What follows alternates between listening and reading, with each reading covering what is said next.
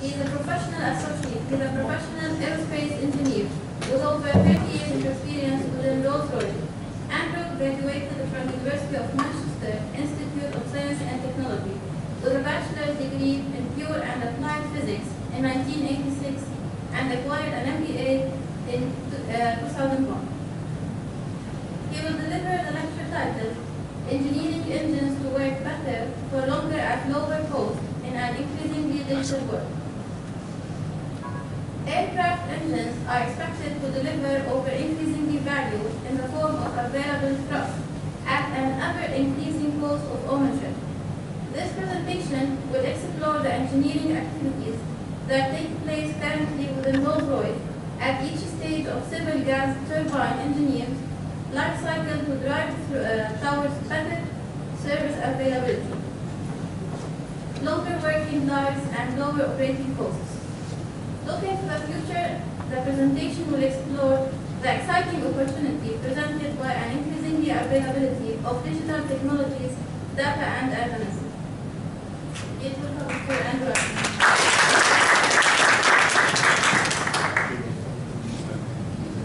Thank you very much for that introduction. Um, I'm going to take probably about 50 minutes to, um, to, to go through the presentation, that kind of order of magnitude. Um, what I'm going to try and do is give you a feel for what is the process that we go through to design an engine. But not to design an engine that works on the day we deliver it to a customer, but to design an engine that's still working in 25 years' time and it's done so economically over that period. So let's start a little bit just by talking um, about some of the products that Rolls-Royce produces. So we don't we don't just make engines for aircraft. Um, that's just one of the sectors that we deal with. So we do well, most of our work is kind of in the aerospace world, and that's split across civil aviation and military aviation, both helicopters and, and an aircraft essentially. But we also do work in the marine world, so we provide propulsion systems for ships and positioning systems um, and various other equipment that, uh, that goes on um, those sorts of vessels. Um, and not shown on there, we do the engines for uh, nuclear submarines as well. Um, so a variety of products, but the thing that's similar about them all is they all last a long time. So we would expect any of our products to be operating for around about 25 years from the day it leaves the factory to the day it's finally retired from, from operation. And because of the nature of the customers that we provide equipment to and the use that's made of it, it's pretty much true that if our equipment doesn't work, the customer stops working that day.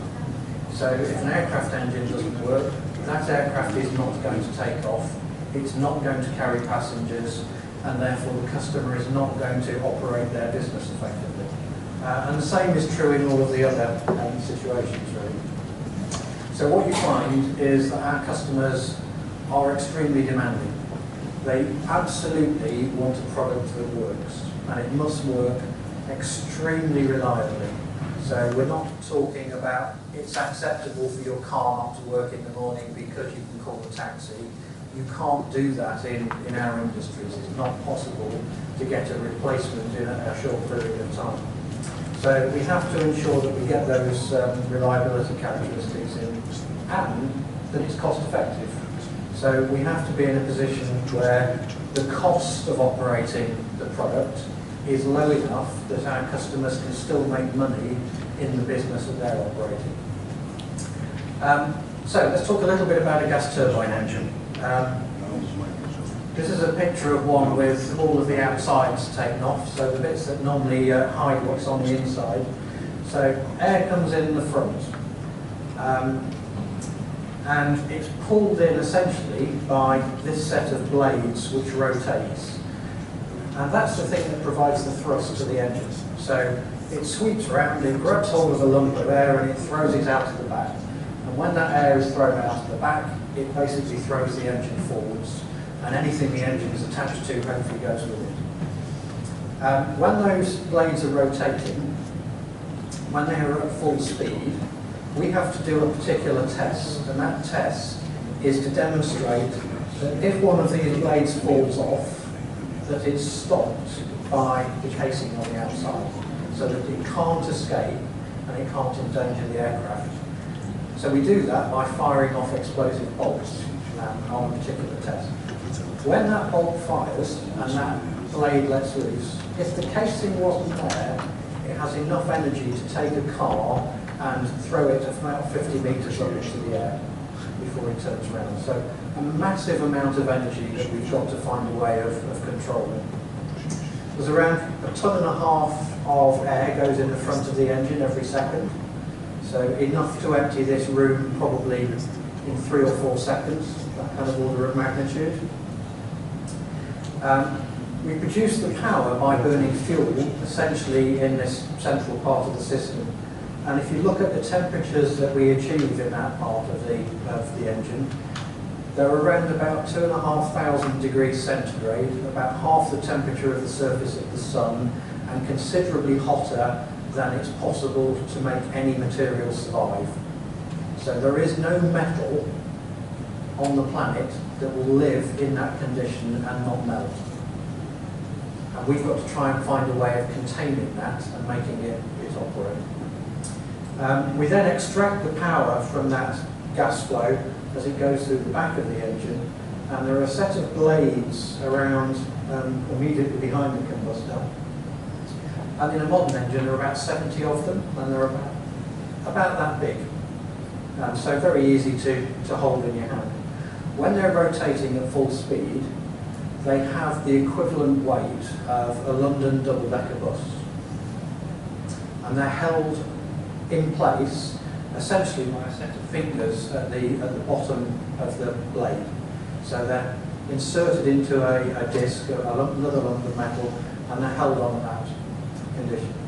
The temperature of the gas that those blades sit in is 200 degrees hotter than the melting temperature of the metal we make them out of. If you just think about that.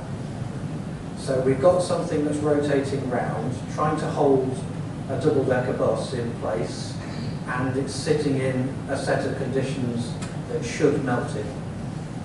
Um, and the way we stop it melting is we cool the blade. So we pump cold air through the middle of it, and when I say cold, I mean 900 degrees centigrade. That's what we mean is cold. Um, that takes heat out of the inside of the blade.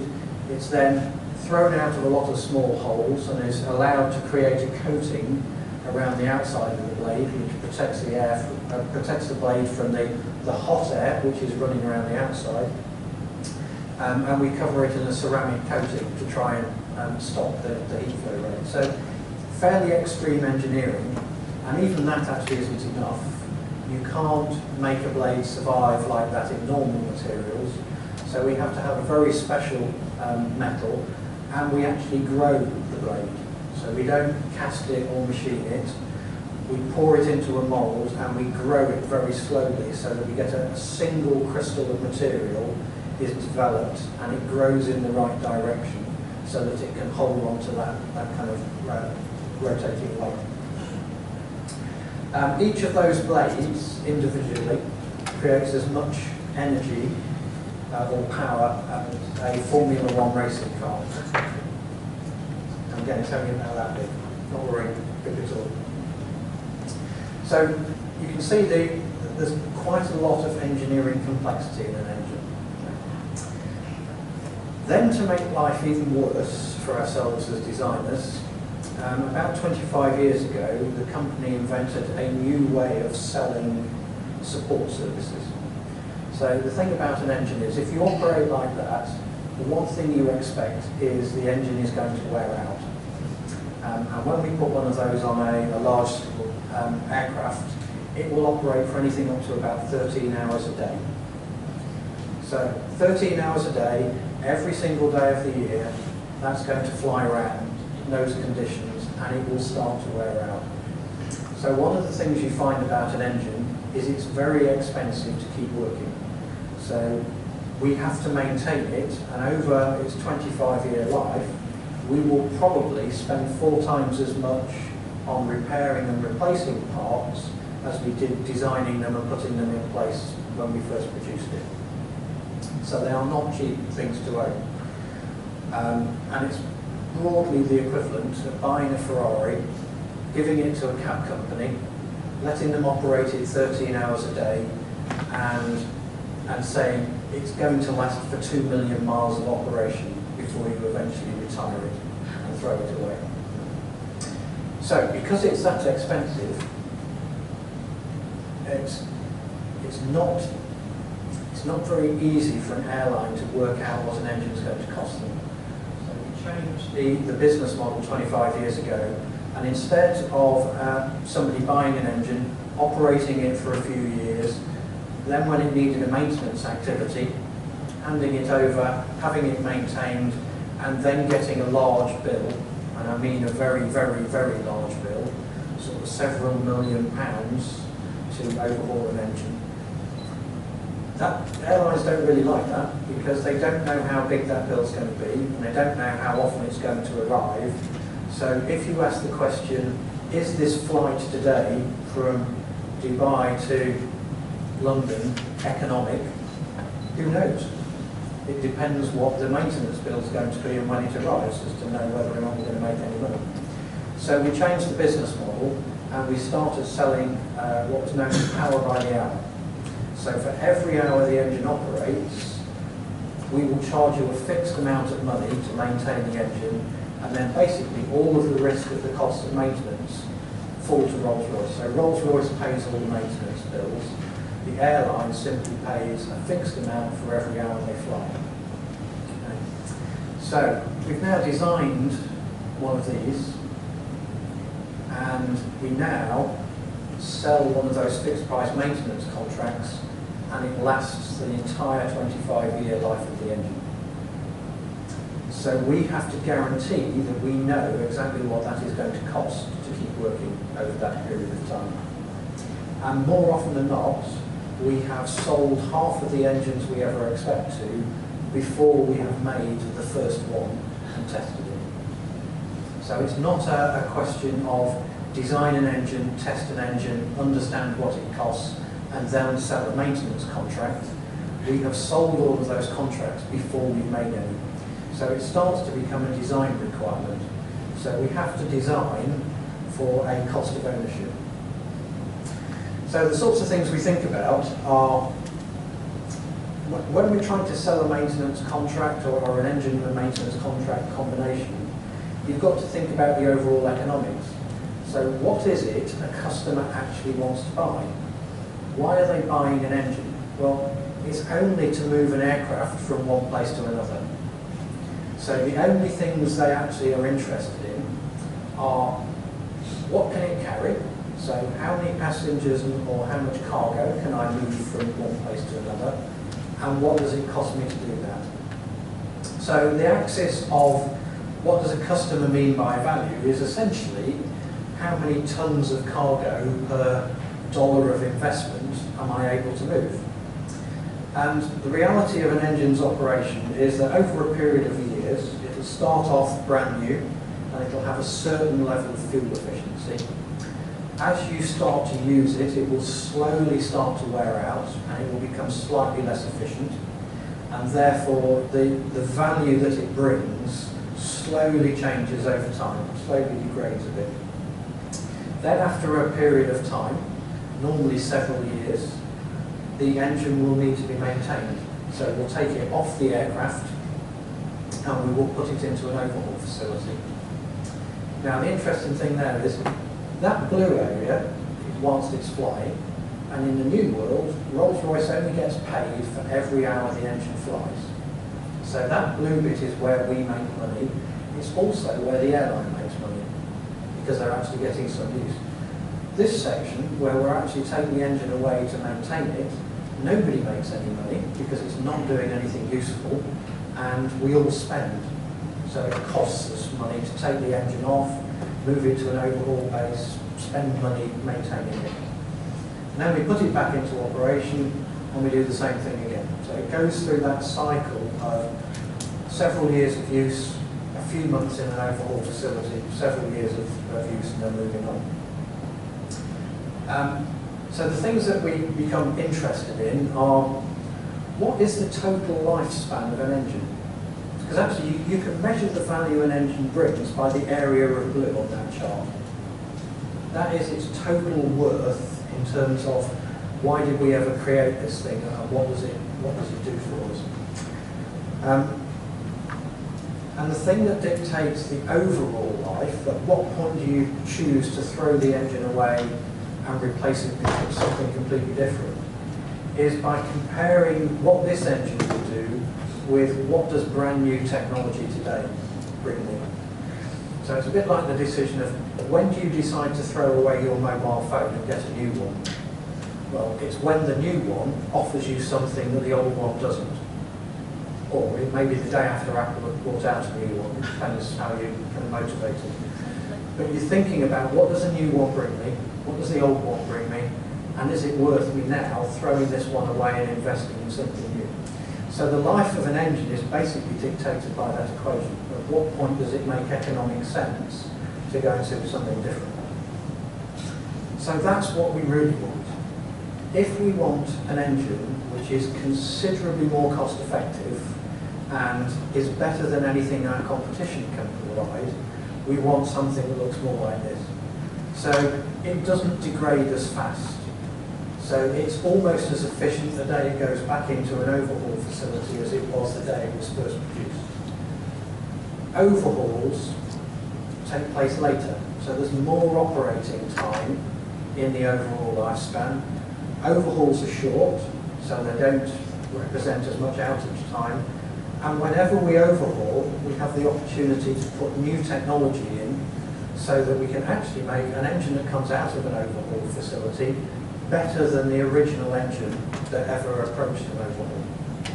And if we can do that, what you find is the overall lifespan of an engine increases as well. So for hopefully a similar investment in the hardware and the technology, you've now created something which, which generates more value in use. So that becomes our kind of objective when we do the process we describe as design for service. Um, this is a, a, view of what we actually do. So it's not a particularly complicated process.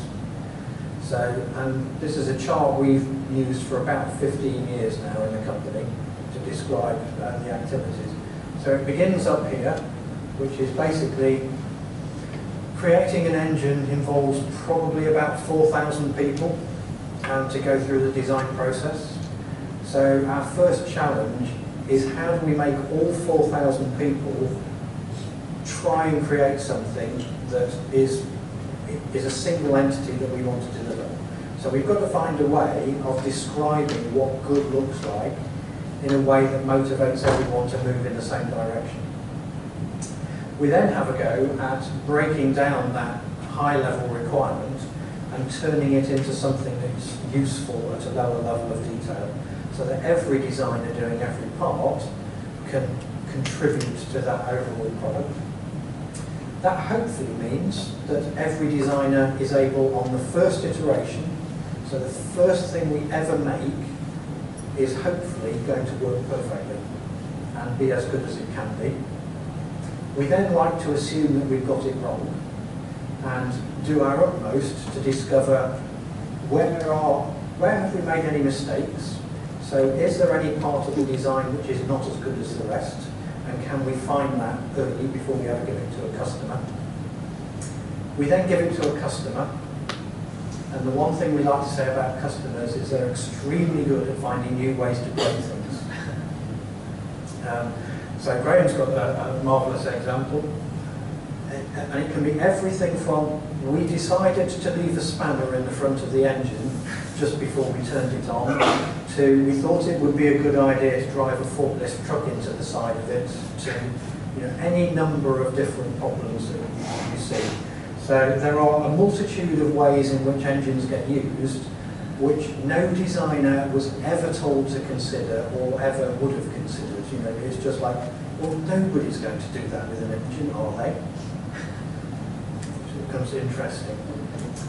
Um, so at that point, it's all about surveillance.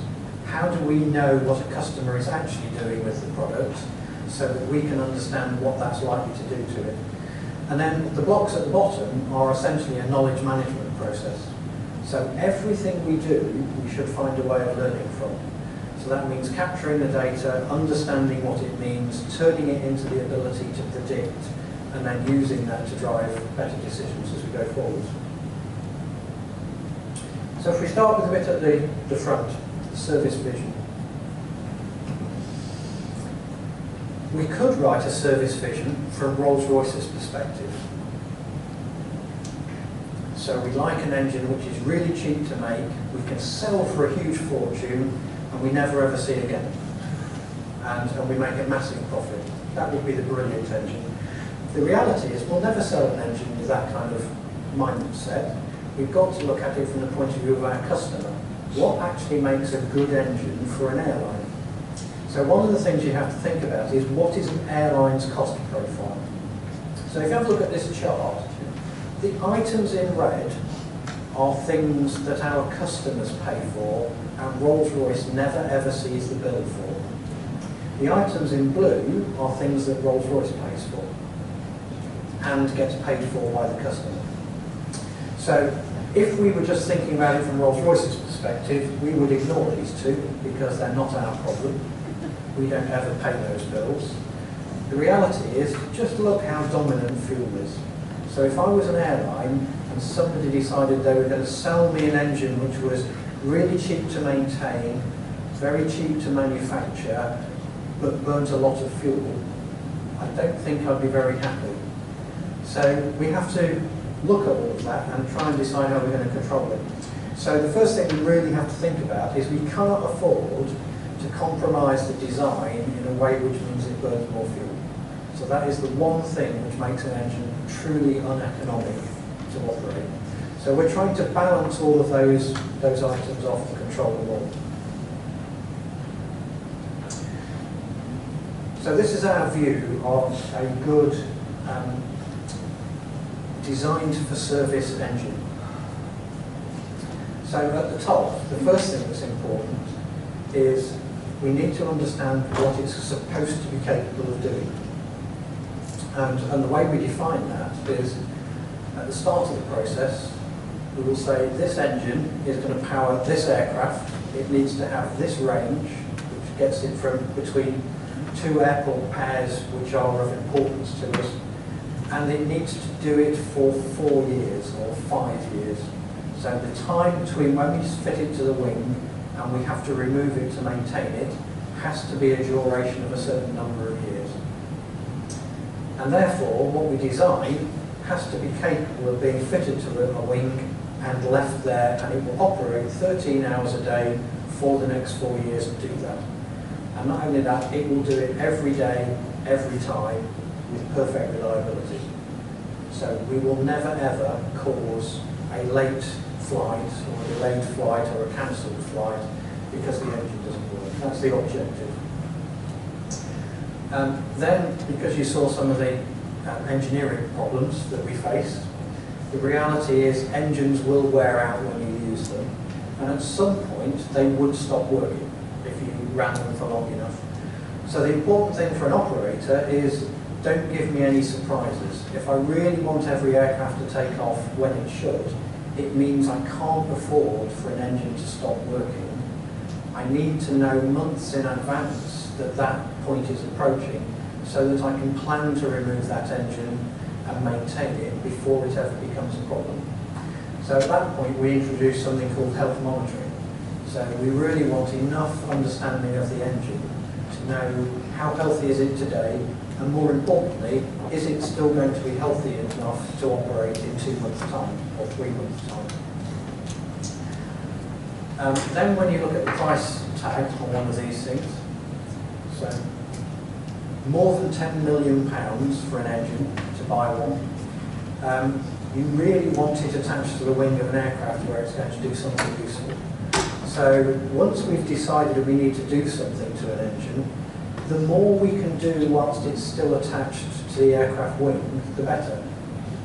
So we need to think about just how much maintenance can we do without ever taking it away from the aircraft.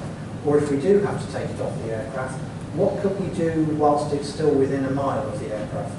So we just move it to a hangar and we do something locally. And then if we really have to, then we move it to one of our overhaul and refurbishment facilities. So they're typically, um, there'll be one in a region. So we have them in Singapore, in Derby, in, um, in the US, in a variety of places. Um, when we move an engine to one of those facilities, it's important that we get value for money. So at that point in time, we have stopped earning revenue and we're about to start spending money. So what you're really looking for is what is the smallest amount of work you can do gets an engine back attached to the wing and when it arrives back at the wing, it can still do another four years of operation. So it's about optimising your choices of what work to do in order to get that life back. Then we come to the requirements breakdown process, um, which is unfortunately not that easy. So the things we tend to think about are when we go to a designer of a component, we really want to try and get them to think about what value do they bring and what costs do they bring. So essentially, our customers only want to pay for this side of the equation. When they buy an engine, um, or they pay the maintenance bills for an engine, what they're really looking for is how much thrust are you going to give me, and is it enough? How reliable will it be? So will it operate like that every single day that I want it to? And can you provide it in the right quantity so that every aircraft I want to move between two places is able to do so on the day I want it to? So they're buying capability, availability, and essentially reliability or confidence that it's going to work. And you know what? That is the only thing the customer wants. Unfortunately, when we deliver an engine, it comes with a whole load of other things. So we will have to put fuel in it. Not exactly what the customer wants, it's a bit of baggage and problem that, that we provide that isn't desirable. So the more we can reduce that, the better. It will have some monitoring and maintenance requirements. So you will have to do things in order to know how healthy it is and to keep it operating. Unfortunately, engines are not perfect, and our ability to engineer them is not perfect, and therefore they will, on some occasions, create disruption. Uh, so our job is to minimise that to the absolute lowest level possible. So the number of times that an aircraft can't move because the engine is not capable of doing what it should be, um, we have to keep to a minimum. So that becomes the design requirement. Um, we then have a kind of a secondary problem um, in the way that we, we kind of do the engineering, in that it's a complex system. So when you actually look at an engine, it's made up of different levels. There are individual components in an engine, which we then assemble together into modules or sub-assemblies and we then assemble those sub-assemblies into an entire engine. Um, and they all interact with each other. So the way the system behaves is not just the sum of the way all of the individual components behave. There are lots of complicated interactions. And then in terms of the way we keep it operating over time, again, there's an interaction problem. You have the physical reality of the way the hardware behaves. So how is it used? How will it degrade? What does it physically look like? You then have a policy dimension, which is essentially what decisions do we make in how we maintain and control that engine. And that is a, it's a decision-making process. I can choose to maintain an engine or I can choose not to. One of those two decisions is better than the other. And if I take the wrong path, I have created a cost. Um, and then when we've made decisions, you then have to get into the, how do I actually do that? So So just because I said I was going to do something does not mean I'm physically capable of doing that when the time comes. So this, it follows a kind of sequence path. The, the first thing that happens is actually individual components will degrade as we use them. That may lead to an effect that that component can't do what it's meant to, which eventually becomes an effect at a subsystem level, which eventually becomes an effect at the engine level. And, and actually what happens is we can tolerate a whole load of individual components getting worse levels of condition. So things rust, things corrode, things change shape. It doesn't actually matter until you reach the point where the engine as a whole won't work and won't do what it's meant to. So once we get to that point, we then have to kick in the decision-making process.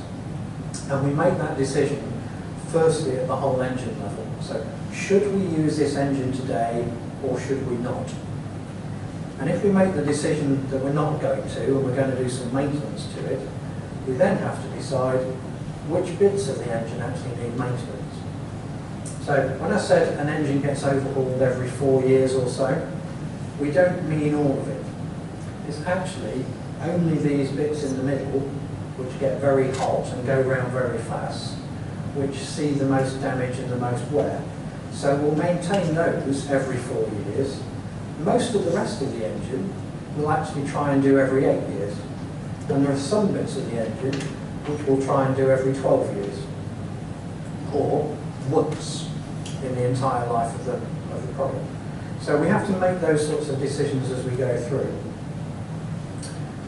Um, and then eventually we'll take one of those modules apart and we'll make decisions at a component level. And that's literally an inspector has a component in their hand and they have to decide, does this have enough life to go back in for four, eight or 12 years? So depending upon which part of the engine you've taken it out of, that dictates how long it's expected to work before the next time that part of the engine is, um, is being assessed. So different criteria to up here. So at this point we're deciding can the engine work for another week? At this point we're deciding can this part work for the next four, eight or 12 years? So, and that becomes a, a, a more difficult problem. Um, and then essentially what we do is we add up the costs. So we spend money at a component level, we spend money at a system level, and ultimately we spend money when we do the testing of the engine. So all of that assembles up into our cost profile. And what that means when we go and talk to the design teams is an engine has around about 14,000 components in it, give or take. Each component has 10 or 20 design or manufacturing features on it, and each feature can actually degrade in a number of different ways. And when you kind of add those numbers together, what you discover is there are probably a half a million starting points for problems. So when an engine stops working, it could be because of a competition essentially between a half a million problems all racing to be the first one to cause the engine to stop working. Um, you then add into that problem, so half a million starting points, and now every engine we will sell to somebody different and it will have a different history. So every engine is going to exercise those half a million starting points in a different way. So they're not all going to behave the same. Um, and the other problem we have is every engine we design is different to the last one because it's intended to be better. So everything we've learned from history isn't necessarily applicable as an understanding of what will happen to a future engine. So that's the challenge we set our design teams is a half a million starting points used in hundreds of different ways. Oh, and by the way, we don't actually know what the history is of some of the things you're designing because you're presumably designing in, into new territory. So then we go into the design process itself. Um, and the things we do at this point are consider these three areas of activity. So as a designer, worrying about those half a million um, failure modes, the things you can start to think about are, first of all, can I get rid of it? Can I avoid this particular failure mode ever being a problem? And you can do that in a number of ways. You can remove the chance of it starting. So you can get rid of the conditions that allow that damage to actually start to, to occur. You can slow it down. So let's say I can slow something down so that instead of becoming a problem in three and a half years, it always lasts for five years before it's a problem. So actually I can now catch it on my four-year maintenance activity. It's no longer a problem because it has enough life. Or I could make the outcome of that particular deterioration mode not a problem. I can change something that would have stopped the engine working um, into something which puts a nice little red light up on the dashboard in the cockpit. So it doesn't cause the engine to stop working, it creates a, a signal that says it's now time to plan to do something. So that's the avoid bit. The contain activity is all about catching something before it fails. So can I do things in the design process to make my design either more predictable so that I know that it's going to get to the right life or I'll know when it will run out of life or can I make it more monitorable so that I can actually look for evidence that tells me how healthy this component is. And that could be we just make it easy to inspect at an overhaul. It could be that we know what to look for on the sensors that tell us whether or not an engine is developing a problem. And then in the recovery phase, it's about thinking about those four-year maintenance events. What am I actually going to enable to happen at those, those points? How easy will it be to get to the components that actually need to be changed? How easy is it to repair them? How easy will it be to replace them with the same part? How easy will it be to replace them with a component which is even better than the original design? So those are the things we, we sort of try and drive into the thought process. Um, we do it with a very, very, very sophisticated method. It's called talking. And we literally take the design team, we sit them in a room, we bring the repair engineers, we bring the, the service mechanics, we bring in our service engineers, and ideally we bring in a customer and we get them to talk to each other. And they talk about what is the design history of this part, in what way is the new design different to the old ones, what have we ever experienced on that component historically, and we back it all up with as much factual data as it's possible to get hold of. So what we find is the combination of facts and the understanding that the humans bring, those two things together allow you to do a huge amount of really good design work. So you can start to think about what could happen, you can think about which are the important things to worry about, and you can start to drive towards a design that, that works well. The thing that constrains that is your ability to get hold of the facts. Um, and if you kind of go backwards a little bit in time, the reality of most of our data recording is it's words in reports. So the only way generally that you can make any sense of that data is to have a human being read it and then decide what it means and what's important in that, that data set.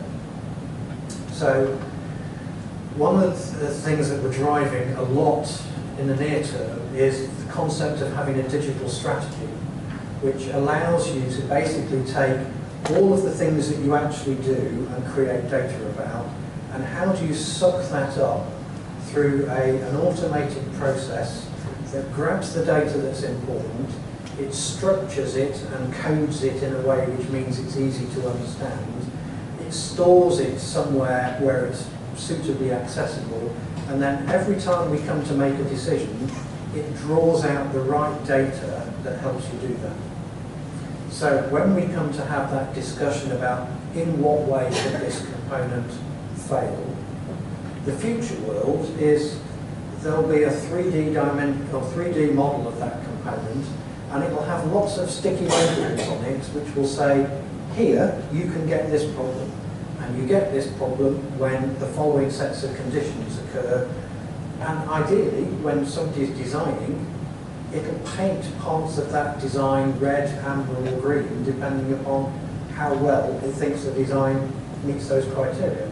So a designer should never produce something which is liable to create a failure mode that he's unaware of or she's unaware of. So those are the sorts of things we're, we're kind of striving to get to. Um, one of the ways of doing that, and particularly at the top end of that diagram, in, in enabling better decisions, is to have something called a digital twin. Um, and what we mean by a digital twin is essentially we have a computational model that tells us how we think something of interest is going to behave. So in order to decide what that digital twin is, you start by defining what is the question you're trying to answer.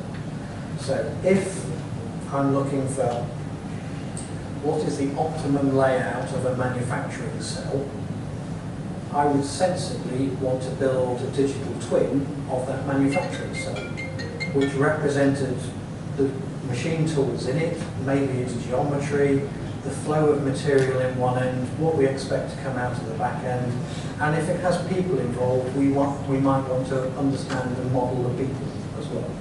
So you have to think about what's the exam question and what elements need to be modelled in order to help you to uh, answer that.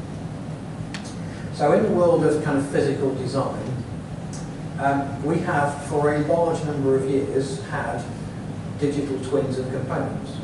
Um, it was called a stress model or a, a thermals model. So we had some kind of mathematical representation um, of the design and we exercise that model to try and understand if I design it like this, does that produce the right output? And if I don't like the output, what do I have to change at the front end in order to get to the right place? So history is largely this bit. Um, and what you've tended to find is that over two or three decades, computing power has rapidly increased. Year by year, computers are far more capable. And for a good number of years, what happened was we started off with basically a paper calculation of stress. That then went into a computer model, probably back in the days of a um, ZX Spectrum or something which where we thought a few kilobytes of memory was huge. And it's got to the point now where we've got massive supercomputers. And what's tended to happen is our models have become more and more and more complicated They've become bigger, they've got lots more points in them, they've become more accurate. But for much of that time, we have still modelled the same thing, which is the nominal geometry, so the part as it was defined on the drawing, not the part as it is allowed to be manufactured, and the nominal way in which it's used. So what is the average way or the average conditions that this component is going to be exposed to. What we're tending to find now is we've almost got to the point where we don't need to make bigger models. They're already accurate enough, but now we can use that increasing computing power to model more things. So instead of modeling just the standard geometry, what if we modeled the variations of, of dimension that this part could be made to? that's allowed by the drawing. And then we exercise those variations of design and we look at the various different ways in which they could be used. So now we're using the model to explore far more of the space. So instead of modelling the average component used the average way, we're modelling the population of components used in the, the way that the population get exercised. What those two allow you to do is optimize the design of a part number. So when I create my design definition, I want it to be as good as it can be. Um, the future, however, is so there's a bit of an analogy here. If you went to the doctors with a problem and they said, I don't know want to know what your problem is, how old are you? I'm 40. Oh, male or female? Male, right. The answer is then you have the following curves. Because that's what we do as an average response to a 40 year old male. I think I'd be upset.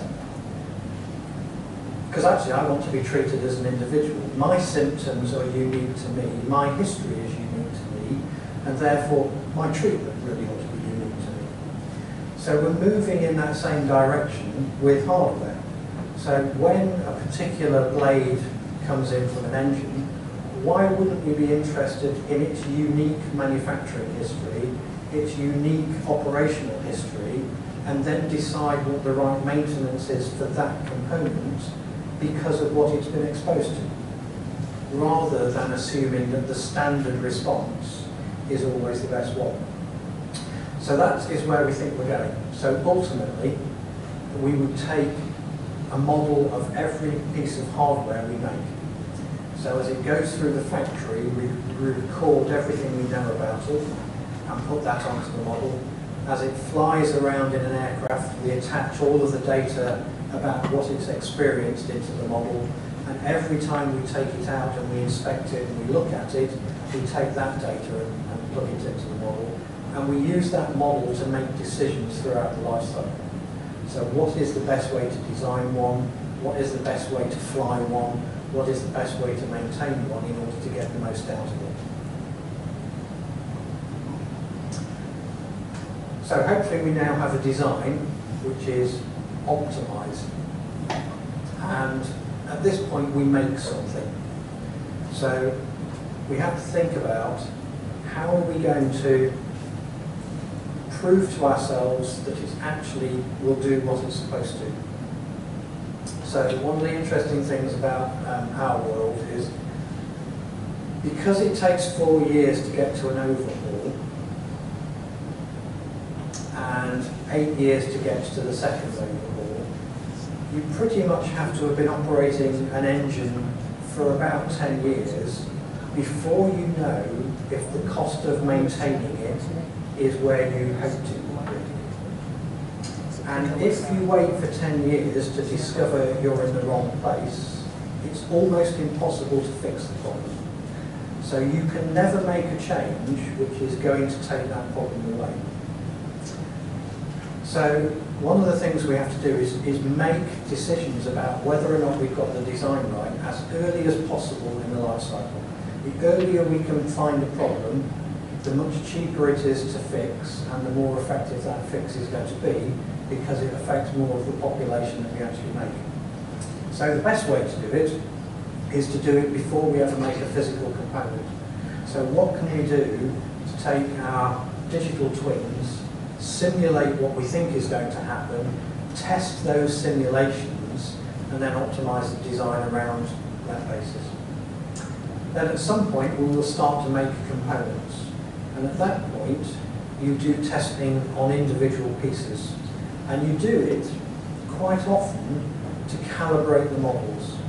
So I've already created a model of this part, I've exercised that, I think it's going to work. So the question is, is my model good enough? So you do a rig test in order to prove that the model actually represents what the physical item does. And if you can convince yourself the model's good enough, then the answer the model gives is, is okay. Um, the other thing we do in rig tests is we deliberately test things until they break. So uh, you have two philosophies on testing. There is a requirement, test to the requirement, prove it doesn't break and therefore hope it's good enough. Or test it to the point where it breaks and you know how much better than the requirement it is, which is a better method because it actually tells you how much headroom you've got. Um, then because of the problem of the complexity of interaction of components, we assemble them into engines and we do tests at that level. And that's really looking for system effects. So the things which are complicated interactions that your models may not pick up because the, the models don't represent the true reality in all cases. Um, and then the problem we have with engine testing is, generally speaking, it's somewhere near the ground. Um, and the ground tends to have a higher pressure and different temperatures to 40,000 feet up in the air. Um, and it doesn't get rattled around as much. So we do attach the engine to aircraft and fly them around to deliberately hunt out conditions that it's impossible for us to recreate um, in a ground condition. Then we go into service. And this is the point where, up to this point in time, um, we've probably only made about 10 or 15 engines and tested them. So there are relatively few examples of, of the engine design in existence and they've been through a limited number of tests and a limited number of, of exercises. So at this point, we make thousands and we give them to hundreds of customers um, and they all find completely different ways to use them. So it becomes a question of surveillance. Um, so the way we, we set ourselves up is an engine will have a number of different measurement parameters um, with, embedded within it. So they measure temperatures, pressures, vibration, um, a no number of other different parameters in there. And they're recorded about every second that the engine flies.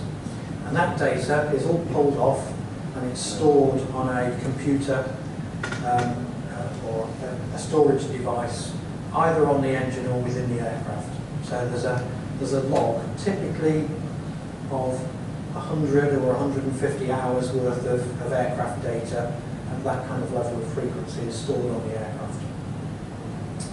And, and what happens is there's a certain amount of processing power on the engine which will look at that data and it will try and find any problems which it sees developing.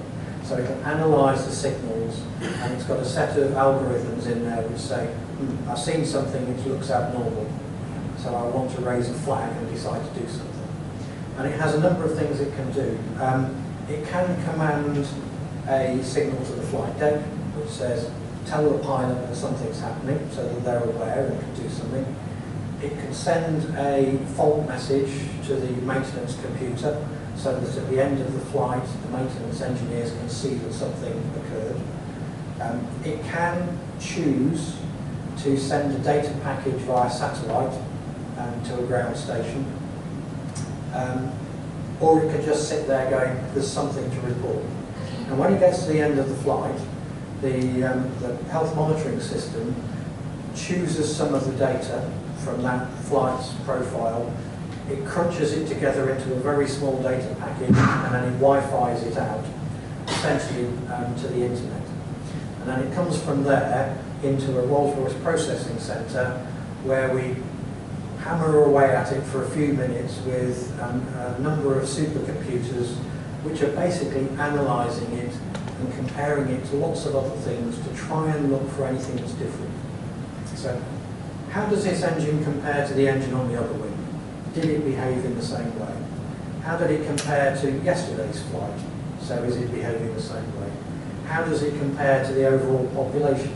How does it compare to our model of what should happen? So we use those sorts of techniques to look for things which are different, things which are not as we expect, or to look for trends and changes over time uh, which are significant. Having done that, we have a couple of choices. Um, some, for some deterioration mechanisms, we know enough about them that we can let the computer do the analysis and if it spots the right characteristics, it can automatically send a message to the, uh, the operator or the maintainer saying, right, you now need to do the following action. So that can be you know, absolutely automatic. Um, the other thing we can do is send it down to the, um, the help desk. So essentially that's a, a, a, group of people who are in place 24 hours a day, uh, 365 days of the year, and they provide an analysis and support service. So if the computer says, I've seen something which is abnormal, but it doesn't trigger my automatic alerting um, responses, then it goes to a human to, to analyse, to go, right, do I understand that? Do we think that's something that the airline needs to be aware of? should we be instructing something to happen? Uh, and the instruction takes one of two forms. We can either decide that it's time for that engine to be maintained, so we should instruct some kind of maintenance activity, or we can say we need to investigate it. So we should perhaps send somebody out to look inside the engine to see whether or not there's any evidence of a particular problem occurring. So sometimes some of the, the signatures you get of something developing could be one of two or three or four problems. So we actually have to go and do some investigative work to try and work out which one it is, how severe it is, and, and at what point we should react to. And if you do all of that properly, then what you end up with is better operation. So in the 15 or so years that we've had this system in place, certainly in the last decade, we, we halve, well, on average, we halve the amount of disruption per flying hour every decade.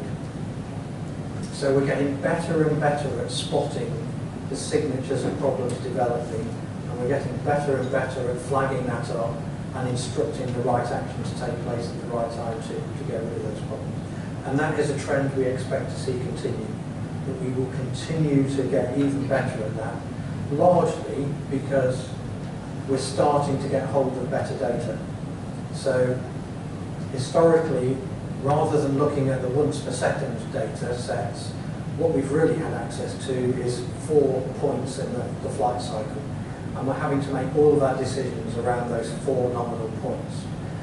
We're starting to get to the position now where we can take that once per second data for the entire flight and we can analyse all of that in order to find the, the signatures.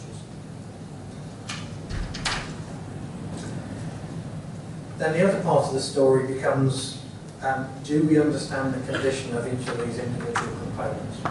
So if we want to get to the position where we manage every component as an individual, then the first part of the problem is, does that component actually have an individual identity?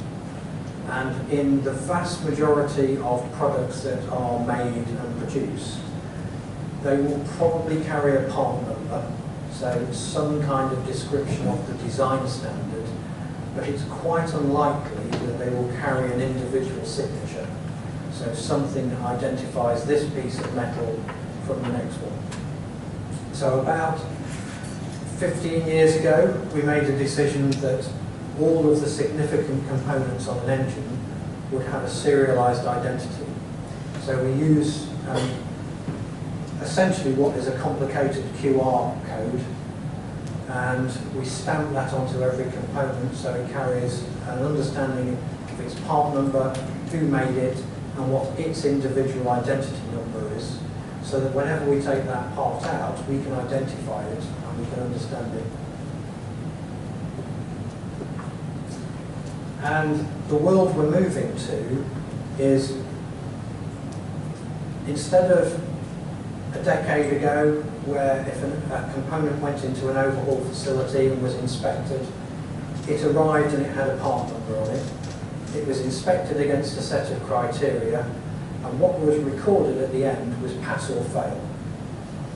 So we threw this part away and we replaced it with another one. And the only reason that was recorded and that data made it back to Rolls-Royce was because we were paying the bills to buy the new one. So it was a financial reporting requirement. It's not enough to help us understand what do our parts actually look like, how do they degrade, and how should we maintain them in the future. So we're moving in this kind of direction. So that may look like a picture of a component, a real component, and the reality is it isn't. That is a digital model um, and it's a model created by that handheld device where you basically just scan around the component and it records the three-dimensional geometry. So it builds a model of the thing which is in front of you, accurate to within about five microns, which is, for anyone who's aware of what micron is, it's pretty good. Um, so we're moving from a world of pass or fail actually we could get data like that for every part that comes through. And if those parts are serialized, and we can tie that back to the health monitoring data, we will actually know every flight that that component has done since it left the factory. And if we can also tie it back to the manufacturing data, we know exactly how that part has changed since the day it was manufactured. So we can now tie that data set together and we can start to build really good models of how do components degrade and what causes that, that degradation. And when we get to that position, actually the design process is going to start to become quite easy because we'll just turn the computer on and it says, right, well if you design it like that and operate it like that, I expect it to look like this when it gets to a four-year interval. And it will start to flag up and tell us when the design is inadequate. So, kind of in summary, um, where you get to in this new world is we think we're going to have much better design data. And, and what we capture during the design process will, will be much larger in volume and it'll largely be numerical models. We're then going to go into the usage phase and we're going to be continuing to capture more and more health monitoring data. So our understanding of what the product has actually done is going to be much greater. And as we go through the maintain, maintaining process, again, we're going to be capturing much, much more data about the condition of components. And when those three things start to fuse together, and we can exercise all of that data and churn it around, that's the thing that really gets us to the point where every single engine will have its own digital twin. And every decision we make about that engine and the parts within it will be advised by that twin.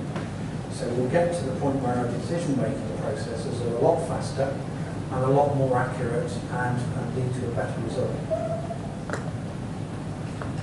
So kind of in conclusion, I hope from the stuff at the beginning you worked out that a jet engine design or a gas turbine design is quite complicated. It is not an easy thing to, to design.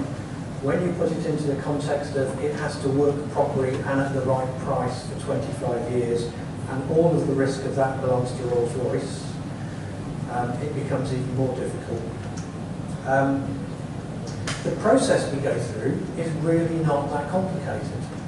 It is just standard design practice of get the requirements right, break them down the right way, do the best job you can on the design, and then do your best to prove that it works. And then when you give it to a customer, just make sure you understand what really happens to it. So there's nothing particularly complicated in the, the process. Uh, and I guess the final bit is there is a big step change coming. So we are moving now into a far more digital world and moving from the position where it fundamentally requires human brain power to decide what to do to a world where we can get the computer to simulate that new world for us and, and allow most of us to spend our time not turning the handle and doing the calculations, but looking at the outcome of those calculations and working out what the right thing is to do. And that's going to be a, a huge game changer. We think overall, probably a third of all of the money we currently spend keeping engines working could be removed. So if we could make perfect decisions every time, a third of what we spend today could be taken out.